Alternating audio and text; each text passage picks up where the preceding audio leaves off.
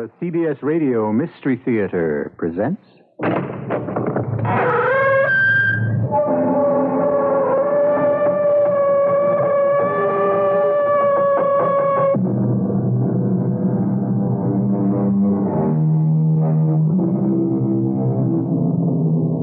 in. Welcome. I'm E.G. Marshall.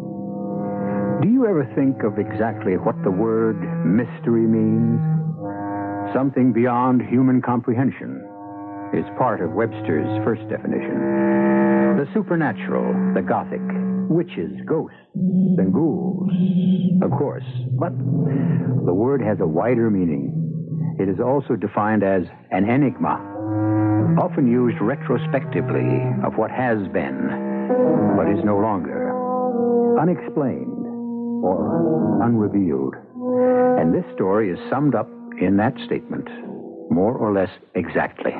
I thought, Doctor, you tried to tell this court that your wife was dead when you left her. Well, yes. I, I mean, I'm not sure. You are a doctor, aren't you, Dr. Grant? Yes. And yet you cannot tell us whether or not life was gone from the body of Barbara Grant? Well, frankly, uh, at the moment, I I panicked so badly. Oh, I'm sure you must have under the circumstances. After having been a party to your wife's murder, why wouldn't you? Your Honor.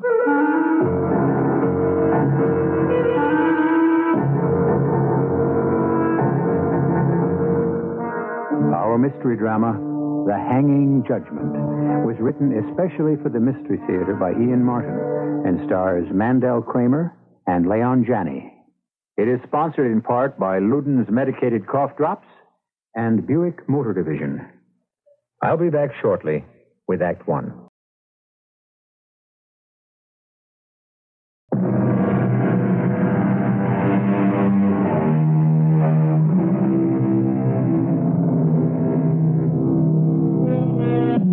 Murder. Perhaps the greatest and most inexplicable mystery of all. How can one human being ever take the life of another? Bad enough in the heat of anger, but outrageous and sickening when it is in cold blood. Yet that particular riddle of the crime of murder is not the only one. We all know the others how, where, when. And in so many cases, the most baffling who. Ladies and gentlemen of the jury, I now present to you the problem of solving that. In the case of the state against Dr. Samuel Grant and Ms. Cheryl Stafford.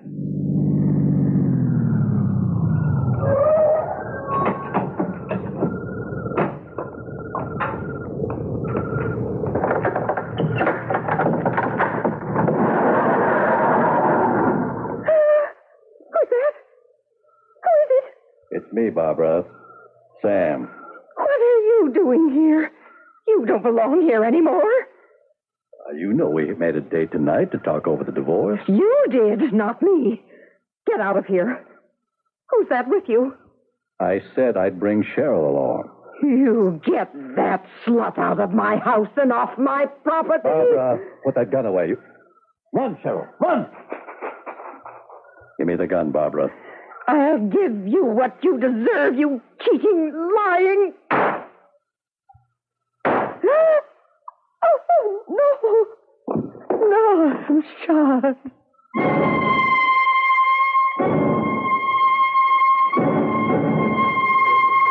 Hello, Lieutenant Kinsella.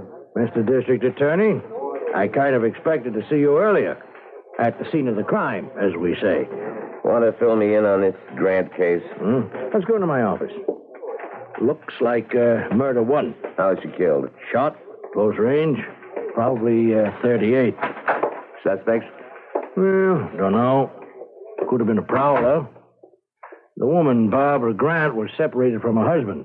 Has he been notified? No, we haven't been able to reach him. A Swedish maid was wakened by the shots and called us in. She thinks Dr. Grant might be out of town. Whose maid, his or hers? Her maid. The dead woman. He said they're separated. Check. So how would she know about the doctor's comings and goings? Eh, sit down, Al.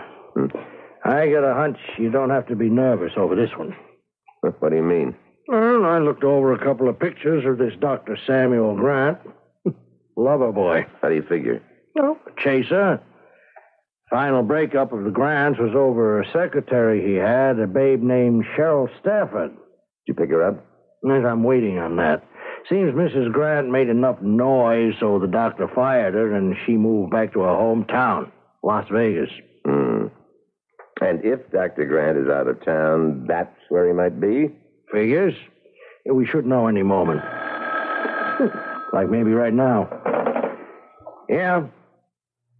What? Well, you don't say. Well, how about that? Now, hold it a minute. Guess who just walked into the station? Not our prime suspect. None other, the good Dr. Grant himself.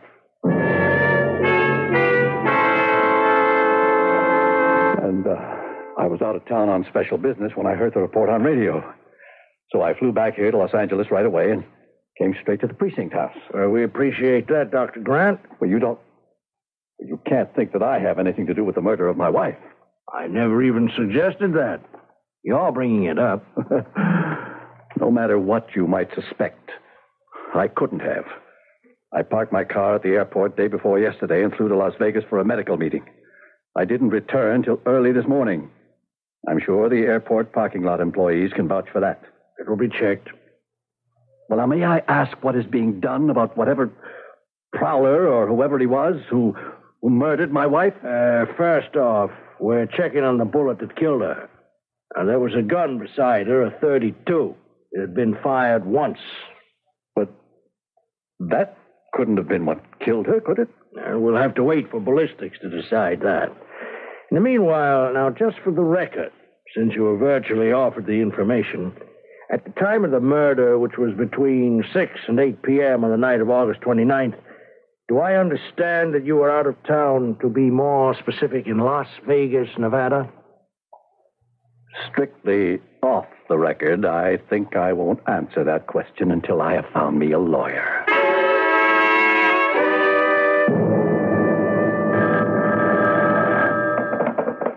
J. Carr Justin and Associates.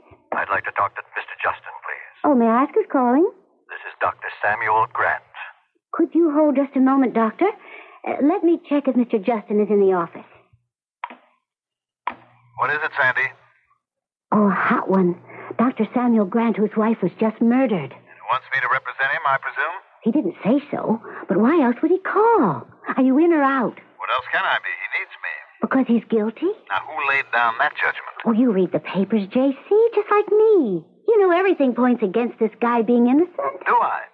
And if it does, he still deserves the best legal defense he can find. That's basic lawyer's ethics. Mm. If he gets you, he's got it. Does he have you? Make an appointment for me to see him as soon as possible. Today, without fail. Yes, sir, boss. But me, I don't think he deserves you.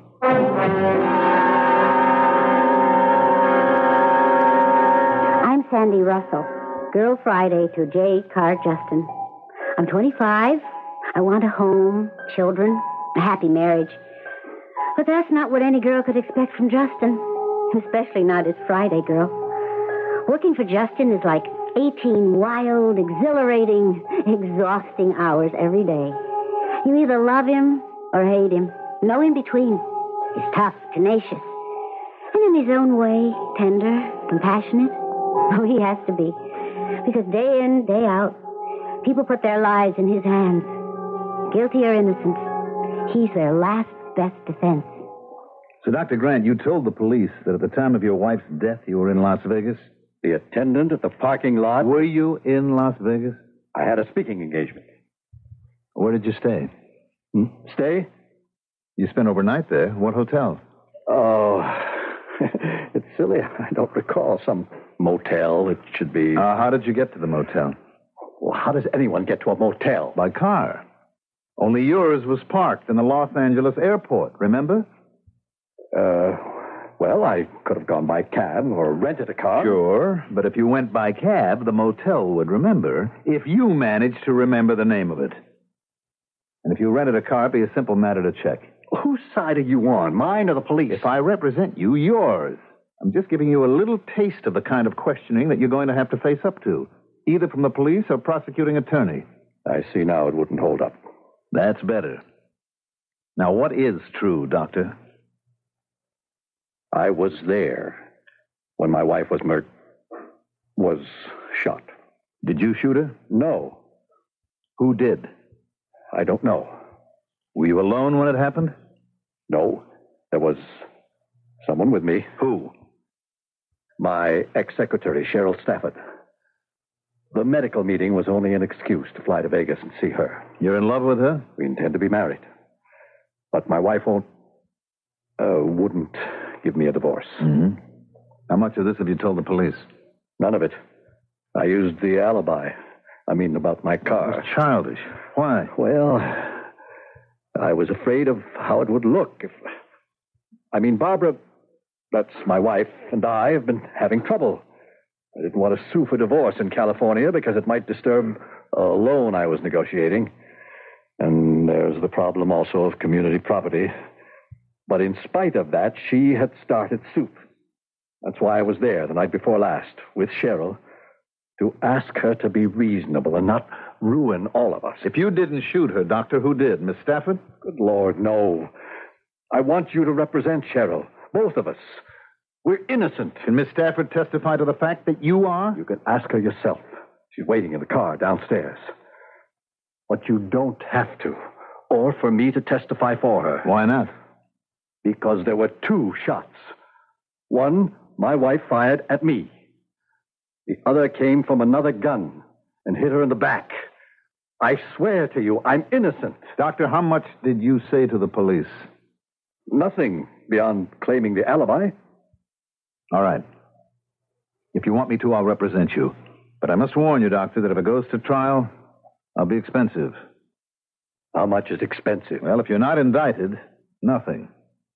If it goes to trial, my expenses and $50,000. Hmm. You're right. You're not cheap. Neither is life, Doctor.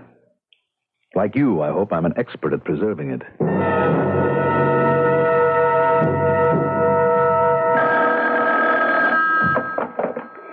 J. Carr Justin and Associates. Uh, just J. Carr will do, honey. You can tell him it's District Attorney Herman on the wire. Yes, sir, Mr. Herman. Just one moment. Give. Al Herman on the line. He sounds particularly smug today. Always a bad sign. Put him on. Mr. Justin will talk to you now, Mr. Herman. Thank you. Hello? Al? Oh, I just thought you'd like to know the grand jury handed down indictments against your clients, Dr. Grant and Ms. Stafford. I'm just having warrants issued against them both for first degree murder and conspiracy to commit murder. Now, you know that's going to be a waste of time, Al. You don't say. I just did. Ballistics showed that Mrs. Grant was killed with a bullet from a gun other than the one on the scene of the crime.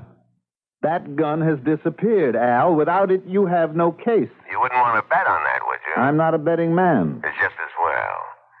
I've got a nice little surprise to spring on you just for once. See you in court. Al? What's he got, J.C.? Such me. I'm more worried about what I may have got. What? Like they say, a bull by the tail.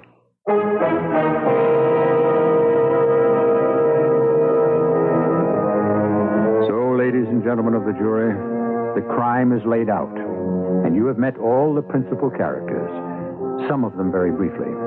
Motive is established, opportunity, in a sense, and a wavering finger points at Dr. Grant and his inamorata, Cheryl Stafford. Or both. Or, since the vital link is missing, the weapon, perhaps to someone else as yet unidentified. I shall return shortly with Act Two.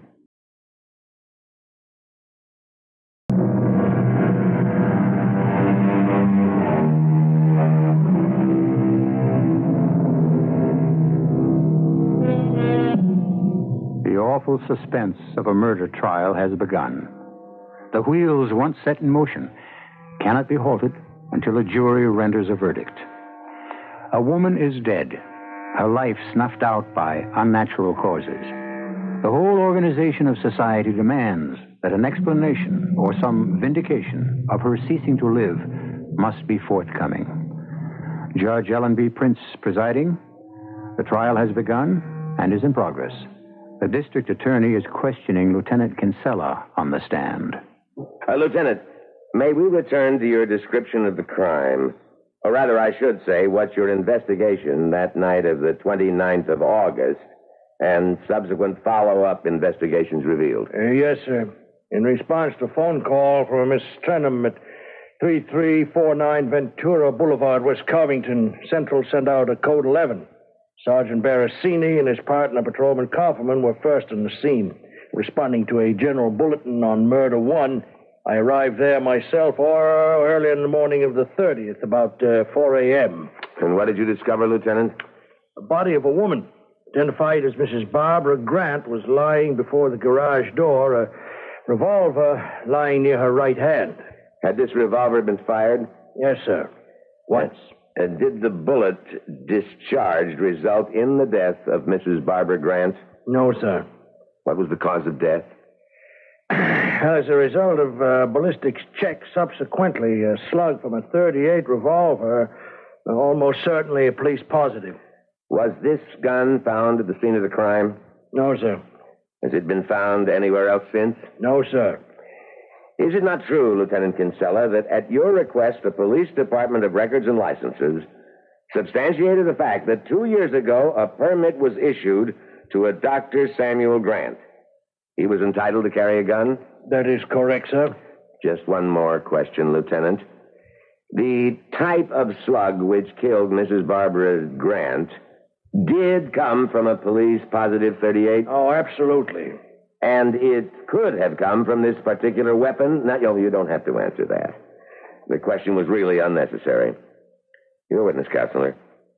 Well, let's complete that question, Lieutenant Kinsella. Could the slug have come from this particular weapon? Uh, what weapon is that, Mr. Jones? Ah, but that's just the point, isn't it, Lieutenant? This particular weapon is only a theoretical one, isn't it? Well, I, uh, I'm not sure I know how to answer that question. Well, I have no tricks, Lieutenant. I have nothing up my sleeve. I'm merely trying to establish that this phantom gun is not established. It exists at the moment only as a speculation, an inference drawn from a bullet that caused the death of Mrs. Grant. Is that not correct, Lieutenant? Uh, yes, sir. It's correct as far as it goes. but- Substantially, what you have in mind, Lieutenant, is that the death bullet could have been fired from exactly the sort of gun that the defendant, Dr. Samuel Grant, was licensed to own and carry. that is just what I meant. Well, we can go into that a little later. A couple of more questions, if you will, Lieutenant. Yes, sir. Now, the gun that was found by Mrs. Grant had been fired. Is that correct? uh, yes, sir. Once. What caliber was that? Uh, 32, sir. Was that bullet found? Yes, sir, in the back wall of the garage. And the bullet from her 32 was fired in the direction of Dr. Grant, who was inside the garage at the time. Yes, sir. Yes, sir.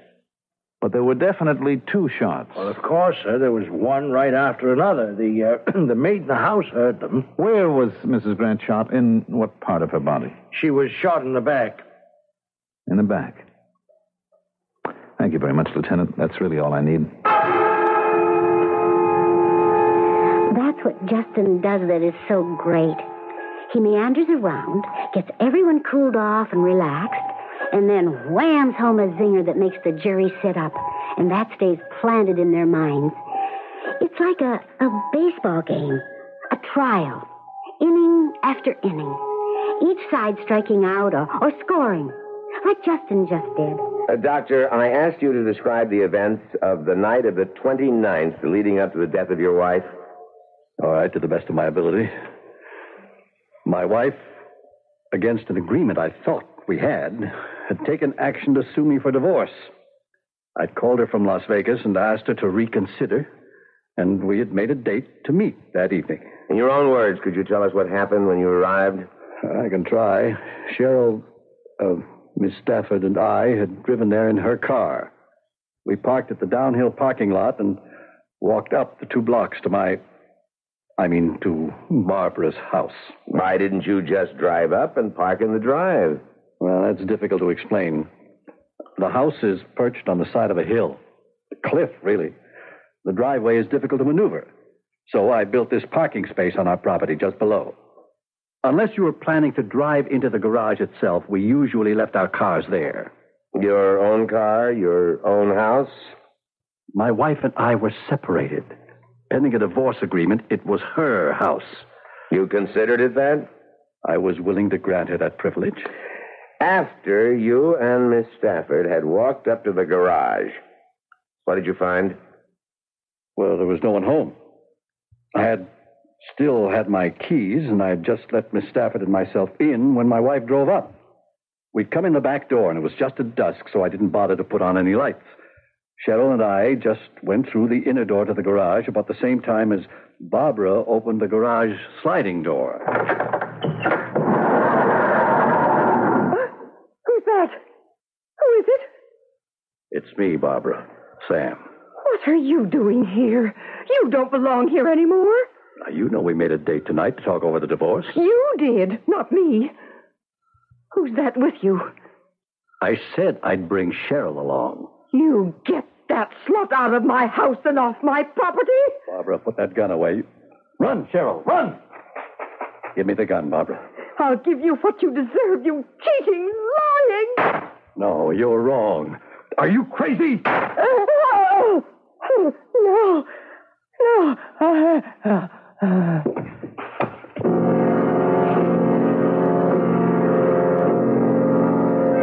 I had ducked down behind the lawn tractor and the garden tools. Even with the headlights on, I couldn't see anything. All I knew was there was a, a second shot and that Barbara had been hit.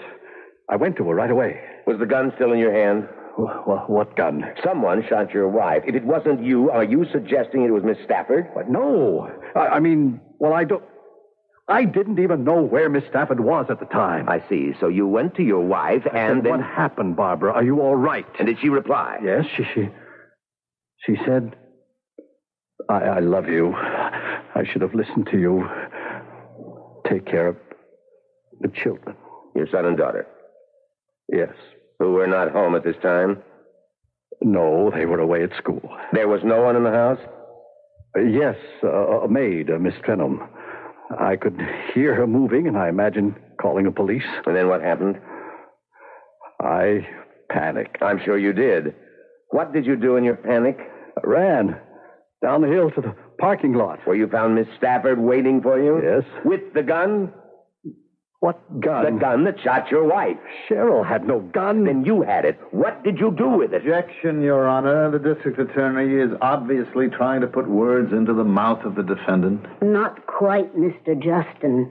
But I do feel, Mr. Herman, you have not established the existence of the gun up to this point. Well, may I say it doesn't matter, Your Honor. The bullet that lodged in Mrs. Grant's heart has established that such a gun existed.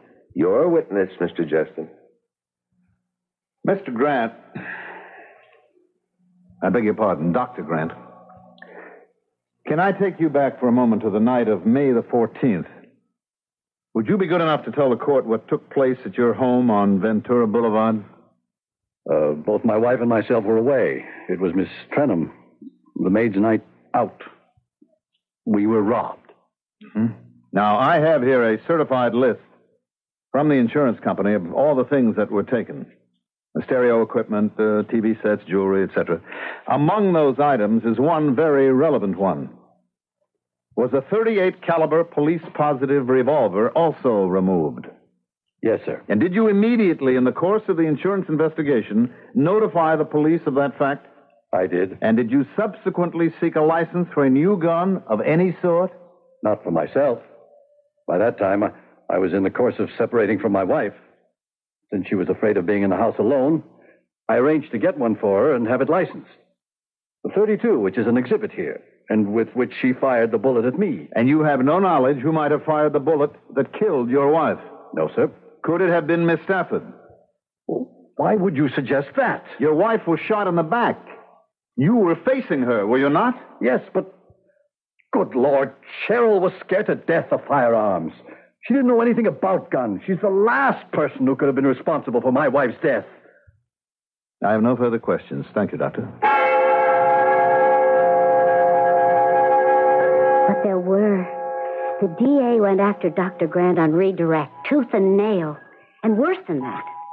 Oh, I've been around courts long enough to know that when Cheryl Stafford got on the fence, she was in for hell. Most of all, I couldn't understand J.C. He work for a man long enough, love him too much, like me, and you know too much about him not to know he wasn't putting out his best effort here. I called him on it. Alexandra, don't ask questions. That's my business. I get the put down anytime you call me Alexandra. Oh, but I can't let it go, J.C. all right, all right. Now, look, we're skating on a lot of thin ice. And I am supposed to be advocate, not judge. Now, why don't you just leave me be and let what is to be to take its natural course? Okay. If you think your clients are guilty, do you? I have a basic rule to try and consider my clients innocent. Oh, but the way things are going, you're going to lose. Well, that's a very absolute term. It's the way it's going. Like, well, if things go now, one of them killed Mrs. Grant. Well, and since she was shot in the back, it's Cheryl Stafford. But it's still collusion, and both of them are guilty. That's the way it may look, my love. But not enough hard facts to pin it down. That should worry Al Herman. But you notice that it doesn't. He still has something big to hit us with in this case. So let's go grab some dinner and some personal life. Oh, I don't know. Sometimes I wonder about you. Whether you care. About winning? No. About how you win. And if it's right that you do. Sandy, you have to make your own judgments on that like anyone else. Everything in its time. Let's wait until all the cards are in.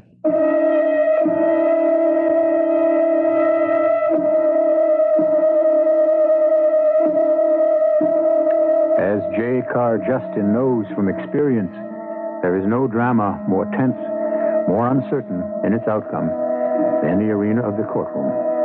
And no theater in which the incredible surprise, the shocking factor that follows no law of dramaturgy, simply pops up to turn upside down all the facts which have gone before.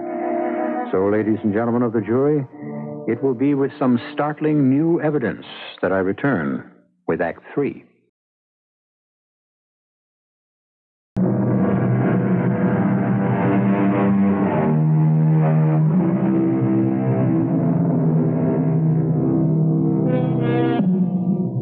Everyone in the trial, of course, was waiting for the appearance of the femme fatale, the other woman, Cheryl Stafford.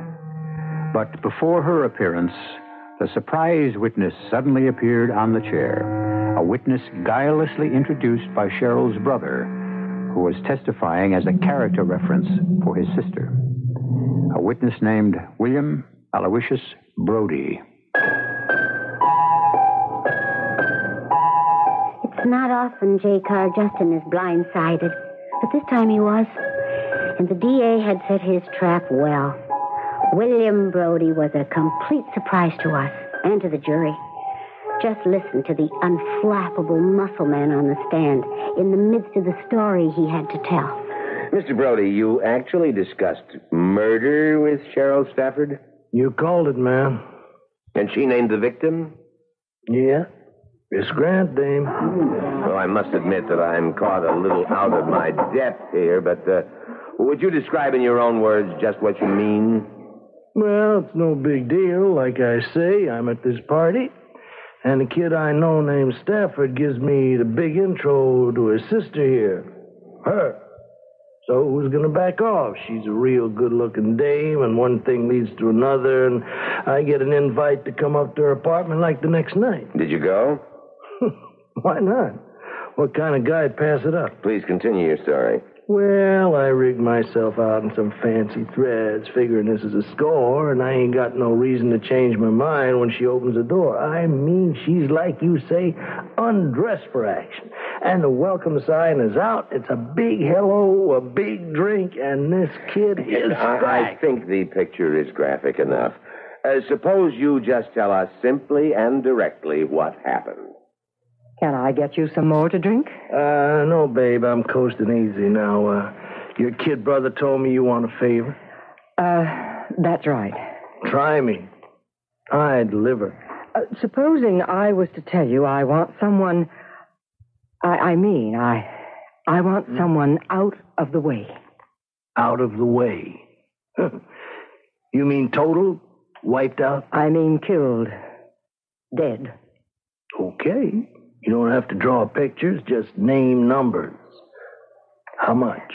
Say, $2,000. Oh, oh, you gotta be kidding. I wouldn't touch it for under a five. I haven't. I, I mean, I, I don't think I could raise that much. Uh, who's a pigeon, anyway? Well, if I tell you, can we make a deal? 3000 is my top figure. It's all I've got. All I can get. Yeah. So we got a deal. Give me a name. Her name is Grant. Barbara Grant. She's married to my ex boss. But it wouldn't be hard. They're separated, and she lives alone. So lay the bread on me, two thou in advance. Third on delivery.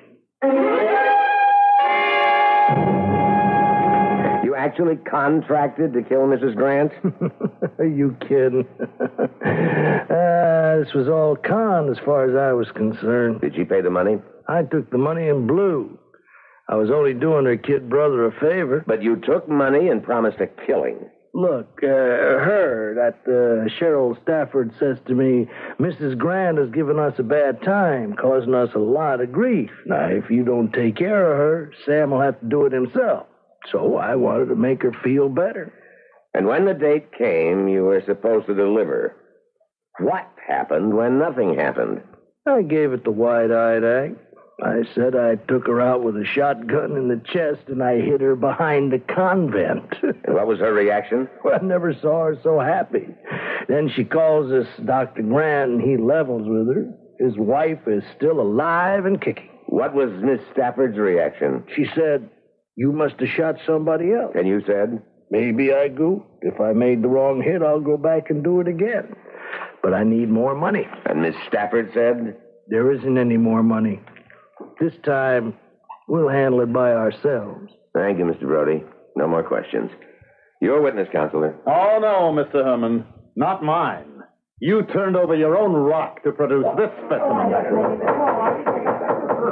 You know better than to make a remark like that, counselor. My mind does, Your Honor. My throat just threw it up involuntarily. Are you courting a mistrial by exhibiting prejudice towards a witness? My apologies to the court. Do you intend to cross examine? I think not, Your Honor. I would prefer to wait for Miss Stafford's side of the story. Uh, perhaps just uh, one or two questions. The witness is yours. Would you repeat your name, please? Uh, Brody. William Brody. Hmm. William Aloysius Brody? Yeah, yeah, yeah. But like, man, I dropped the middle go around in high school. You also dropped your other names? What other names? Well, don't be alarmed. If you have any aliases, I don't know about them. I just mean the various public nicknames that people have hung on you, such as Dream Man and the Treasure Chest. Yeah, yeah, cool it, will you? Cool it, man. Everybody has his own bag. I like to build up the body, right? Anything wrong in that? To each his own. By the way, what did you say uh, that you do for a living, Mr. Brody? I did. Would you now? Well, this and that, you know, man, I hang loose. No big deal. Oh, I think you're much too modest, Mr. Brody. I have here a list dance hall bouncer, shill, candy butcher, beach boy. But I don't mean all of these. I mean your real profession, since gigolo and ladies' man are a little out of style. What shall we call you? A professional stud? Objection, Your Honor. Objection. Uh, sir, stay strike that last sentence from the record. Mr. Justin, I am tempted to fine you in contempt of court. You know you cannot discredit a witness without objective proof. Your Honor, respectfully, it is my contention that the witness has already discredited himself. And when I bring Miss Stafford to the stand, he will be even further discredited.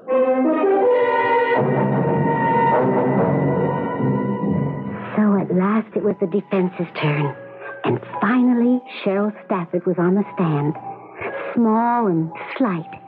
Very pretty in a quiet way. Somehow defenseless.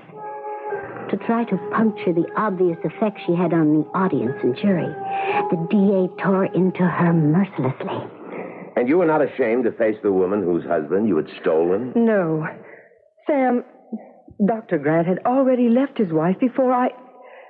before we fell in love. Why didn't you drive straight up to the house? Well, Sam explained that. You didn't use that way to approach the house with the object of surprising Mrs. Grant? Well, why should we? She was expecting us. To discuss divorce? Yes.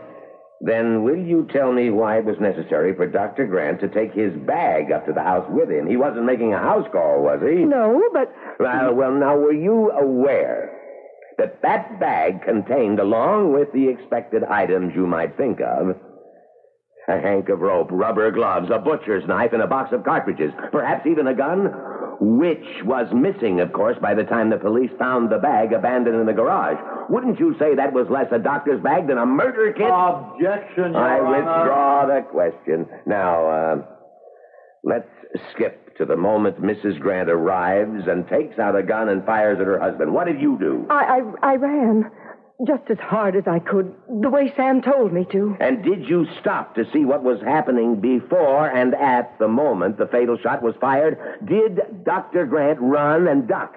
Could someone else have approached and fired the shot into Mrs. Grant's back? I don't know. I, I, I don't Only know. Only you admit the possibility, can't you? Perhaps even a probability that it could have been you who returned and fired that fatal shot to protect your lover and to carry out the scheme you were both agreed upon before you went there that evening of the 29th.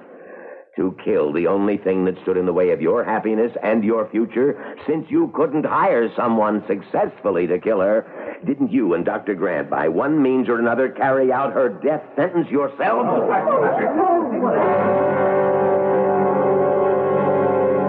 coil of rope was only some leftover line that Dr. Grant had used to secure a bumper on his boat. Yes. And the so called butcher knife was a simple kitchen all purpose knife which Dr. Grant had bought because you needed it to cut bread and prepare salads and so on. Yes. It wasn't even that big. Couldn't be less important. And the rubber gloves, I think, of course, are self explanatory. Just one question. Why did he lug that bag up the hill? Because when he talked to his wife, she said she was having her migraine headaches again. He thought he might have something to relieve them. All right, let's move to another field for a moment. You've heard the testimony of William Brody. I have. Was he telling the truth? Mr. Brody is a liar. If you want the real truth of what happened in our interview, here it is. Well, here I am, babe. Let's break out the booze and get the party going. This is no party, Mr. Brody. You were recommended to me by my brother. Count on me. I deliver. I- I'm embarrassed about this. I, I don't quite know how to say it. Hey, hey, hey, don't run a fever. I'll lay it out. You want a dame compromised enough to make a case for her husband to sue for divorce. Huh? I'm ashamed to say you're right. that could run into real dough, you know. Uh, who's the dame? Her name is Grant. She lives alone. Hmm. It's going to run five big ones. Five thousand? Hmm? Well, I haven't got that much. Three thousand is the best, the most I could raise. Mm, no, okay. If that's what the traffic will bear, you got a deal. You paid him? Yes. But he just took the money without. Delivering. You hated what you felt you had to do, didn't you? Oh, yes. Then how could you have done it? Attempt to compromise a woman as decent and vulnerable as you are. Because Barbara Grant wasn't like that at all. She was cold and hard and calculating. She didn't want Sam for herself. She was just determined that no other woman should have him. She hadn't allowed him to touch her in over two years. She wasn't a woman, just a machine. And if that was the only way Sam could get his freedom, I was willing to take it. Because he's the gentlest, kindest man in the world. I love him. One more question. Did you shoot Barbara Grant? Mr. Justin, I wouldn't even know how to fire a gun. Thank you, Miss Stafford. The defense rests.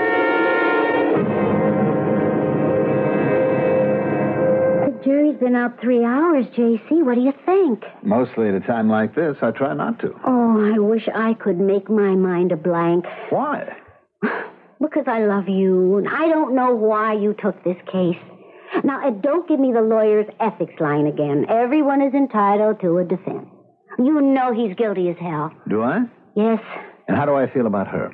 Well, that's not so easy to. Excuse me. Yeah. They're coming out? Okay, we'll be right there. The jury has a verdict? Yep. Well, what do you think it'll be?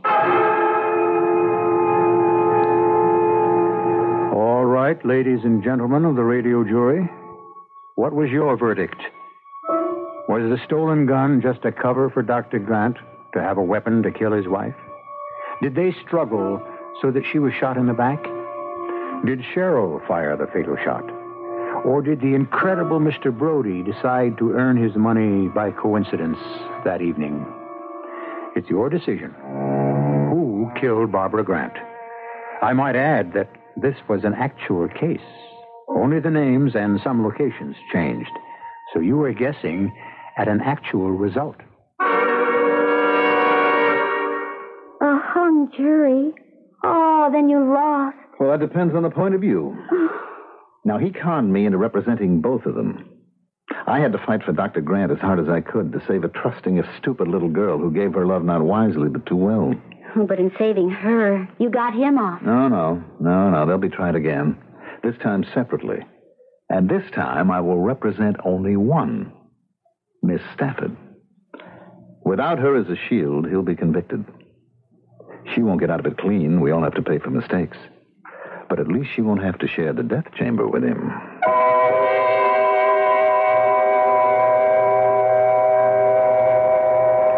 Three months later, Dr. Grant broke on the stand and admitted that he had taken advantage of the robbery at his house to pretend the gun was one of the articles stolen. He had had it with him in the murder kit bag, and in struggling with his wife, as she had turned to flee, he had deliberately shot and killed her.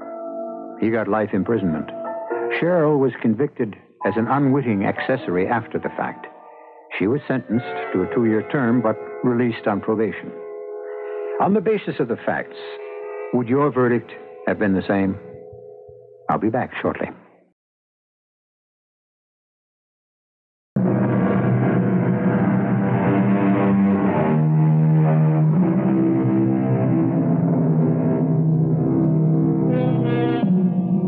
How does a nice young woman like that get mixed up with a man like Dr. Samuel Grant?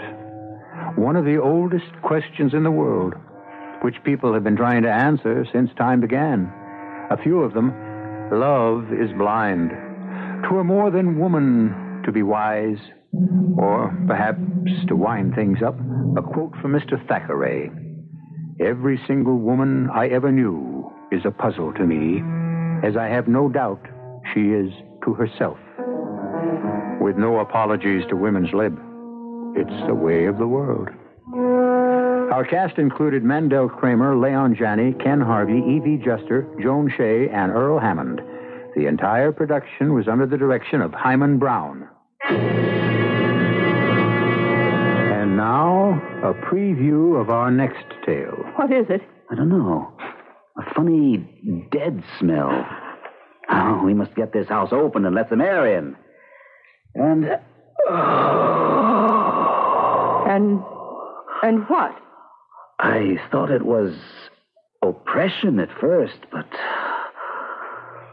Strange reaction. Heavy, listless. No, what's the word? I know. Something I've never totally felt in my life, even at my parents' funerals. Sad. Just unbearably, inescapably sad. Lord, help us. I knew as soon as I saw the door open. And the moment we got inside, she's back again. You let her back in. Radio Mystery Theater was sponsored in part by Anheuser-Busch Incorporated, brewers of Budweiser. This is E.G. Marshall inviting you to return to our Mystery Theater for another adventure in the macabre. Until next time, pleasant dreams.